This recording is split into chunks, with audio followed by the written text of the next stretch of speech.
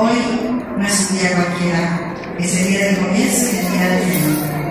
El comienzo de una nueva etapa vida, llena de expectativas, con miedo de si podré, de si me acuerdo cómo se estudiaba, y el fin una etapa a la vez, de estudios, de charlas, de mates, de compartir.